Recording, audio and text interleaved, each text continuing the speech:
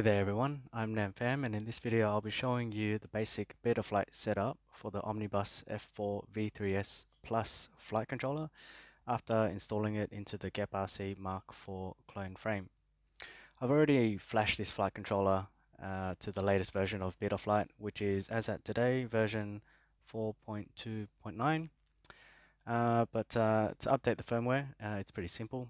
Click on the update firmware button here uh, and for this flight controller the target you can see here is the Omnibus F4SD now if you don't know that it's uh, quick to check. You can go into connect to the flight controller and you can see up here that the target is Omnibus F4SD so to flash it just going back here um, you select the target you put it in here uh, and then select the latest version and the latest as at now is 4.2.9 and full chip erase is selected and then click on load firmware online. So what that does is it downloads the latest firmware or the, the firmware version that you selected up here from the server down to your machine uh, into your computer. And then once that's done uh, it will enable this flash firmware button and you can just click on that. And what that will do is uh, flash the latest firmware version onto your flight controller. So that'll take a couple of minutes and once it's done, um, you're ready to go. So when it's finished, you can go and connect. And what I'll do now is I'll just go ahead uh, down these tabs here so we can um, yeah, just check a few things that I set up for this flight controller. So I think the first thing that you'll, it will ask you to do is actually calibrate the accelerometer. So you'll just have to click on this button here already done that. Um, and that's all you need to do on this setup page, not much else.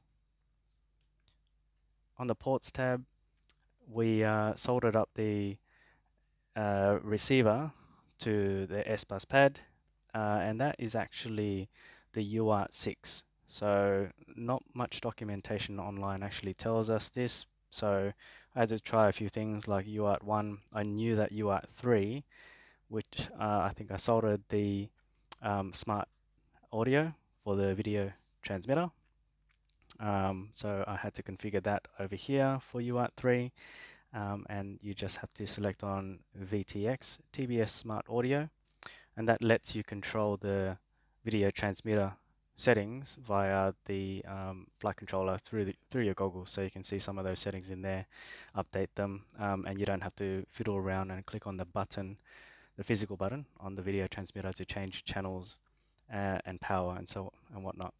So that's for your video transmitter, smart audio, uh, and UART6 on serial RX, which lets the receiver um, get the data to the flight controller. Um, and that's it you that you need to set up on the ports. Over to configuration. Uh, so the first thing that I've done here is actually reversed the direction of the, the motors. Um, I like to fly this way so that uh, when you do get into some of the scraggle uh, or some of the leaves, it doesn't draw uh, the quadcopter into the object that you're crashing into, but rather it will push it away um, from the center of the quadcopter.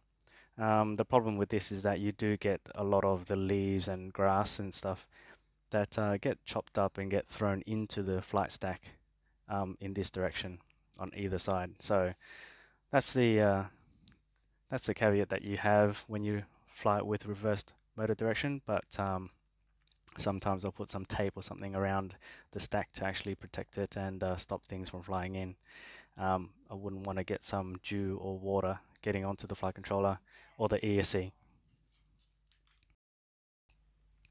Uh, the next part is the uh, ESC um, setup. So over here we have the ESC motor features and um, I've got it on DShot 300 uh, and also I've got bidirectional DShot enabled. Now this does need your ESCs to be set up and flashed with the a firmware that actually allows for bidirectional D-Shot. So I've got BL Heli S uh, ESCs, which came with a stack, as you might have seen in the previous video.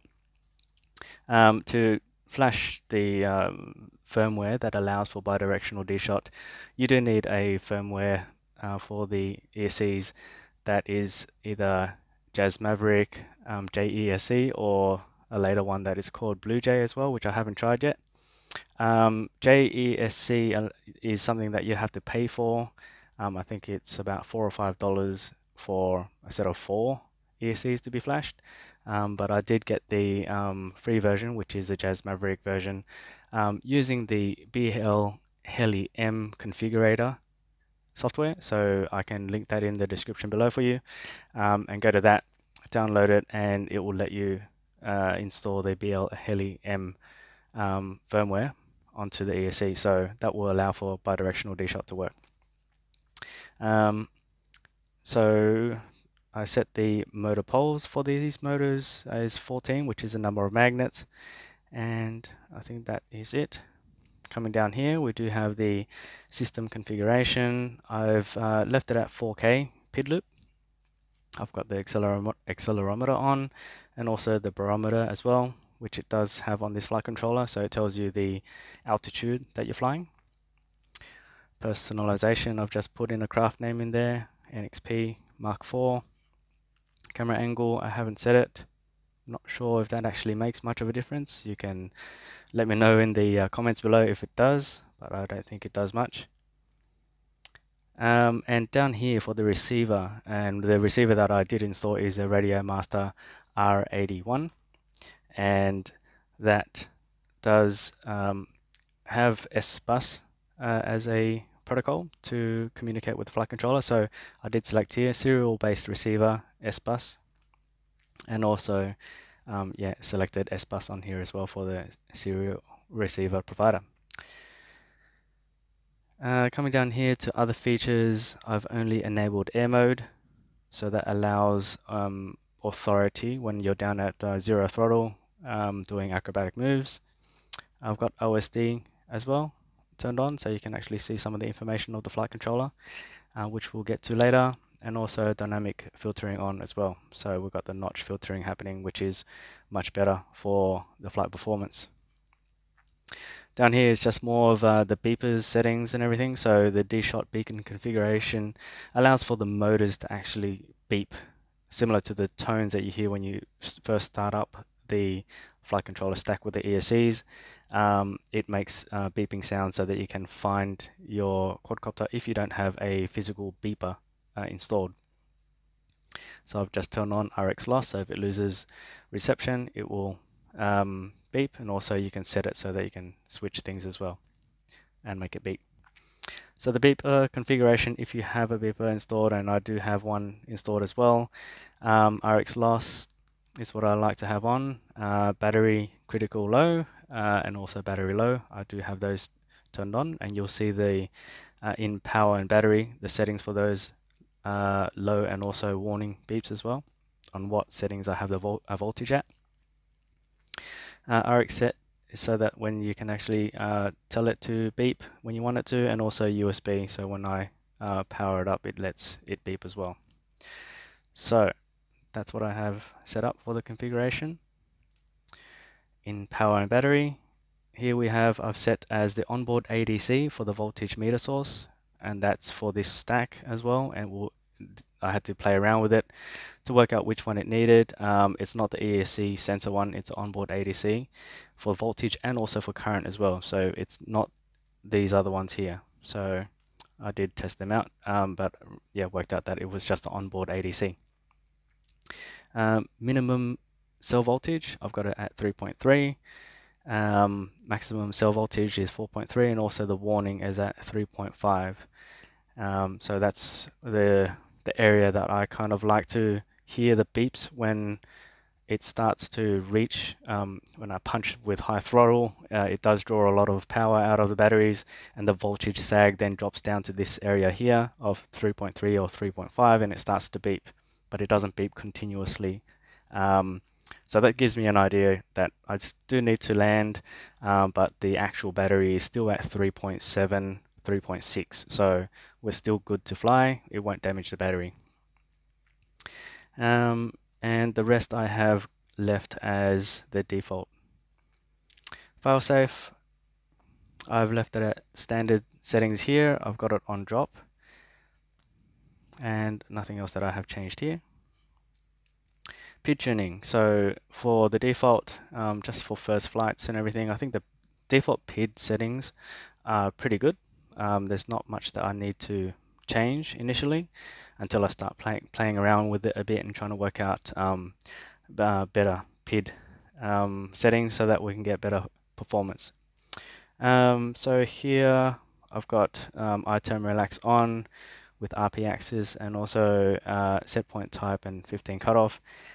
Anti-gravity, so I have that enabled as well. Um, and that's all for the PID profile settings. I did set my rate prof uh, profile settings as well. So here are the rate profiles that I do like. It's in Betaflight type.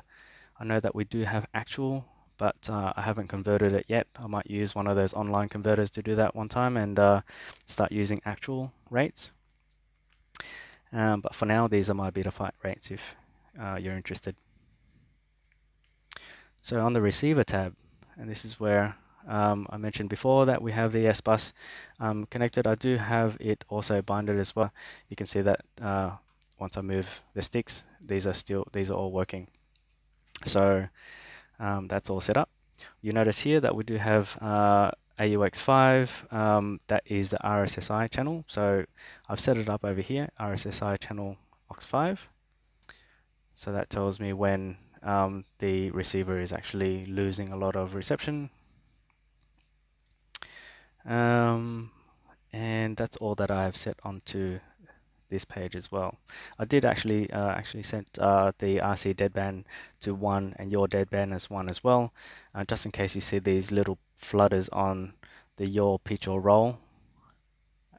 Um, it will it won't it kind of prevents the very very slow drift uh, in its uh, motion um, when you're hovering, but um, for the most part you won't really notice it um, so I've just put them in there um, just to kind of be a bit of a perfectionist so that we can um, yeah make sure that it doesn't float away but yeah. Uh, in the modes tab so here is my settings for the modes.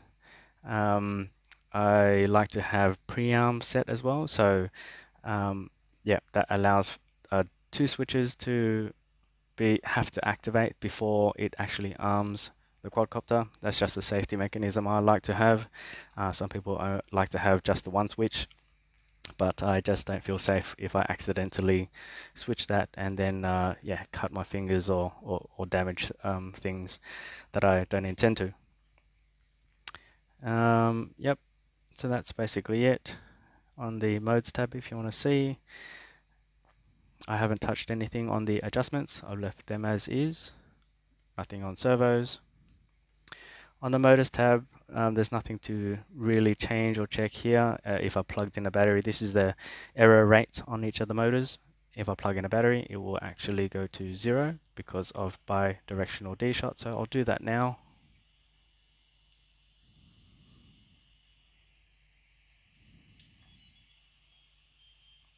And you'll see that all the error rates go to 0%, which is what we want. Now I'll unplug it. And it now thinks that I'm run out of battery. Anyway, so there you go. Um, and then onto OSD. Now on OSD, these are the settings that I like to see um, when flying. Uh, so I do have the altitude down in the bottom middle here. I do have the uh, battery average cell voltage um, so that's the one up here. Uh, battery current draw, so how much we're drawing at any point in time, how much we've actually drawn um, since we started flying, and I think the last one is the RSSI value. Um, that's the only other one that I like. It's in the top right, just to, just to see how um, much reception from the transmitter that I have um, while flying. Uh, but I do fly in close proximity to where I am, so I don't really lose that much um, signal. And of course the warnings that come up into the middle here, I don't mind having them pop up as well, telling me what's going on. Uh, for the rest here, I haven't really played around with much for the post-flight settings. I might um, get to that later, but it's not too, the, the default's pretty good, um, I think. so I've left them um, and that's it for the OSD settings on the video transmitter side I've uh, set up this VTX table you can download these uh, from online as well um, and uh, yeah you can uh, copy them and then load from the clipboard and it'll paste all of this information in.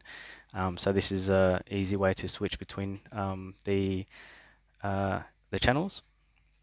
So that's all set uh, for the VTX that I have here. Um, it's a TX805 um, video transmitter. I've got it at 25 200 and 600 um, power levels. So I can switch that inside the flight controller uh, through the goggles um, because I do have the smart audio set up as well. So that will let me just switch between these power modes. Um, yep. And that's all I did set up on here. At the moment I am on um, this Boscam E channel 3. Power is 600 by default. And that's it. And I think that is all that I did set. So in sensors, I haven't really changed anything and this is just to check out the sensors. I haven't done anything with tethered logging, neither did I for the black box. Uh, and of course CLI is where you can actually set up uh, and configure things uh, manually within the flight controller or do things like backing up the flight controller settings um, or restoring them. So um, I might do that in another video later on. So that's pretty much it. Um, so there you go. Um, that's all the settings I have put into um, this flight controller at this stage. Uh, if you have any questions, yeah, put it down into the comments down below and I'll try to get to them. I hope this was helpful um, and uh, yeah, uh, I will catch you in the next video. Cheers.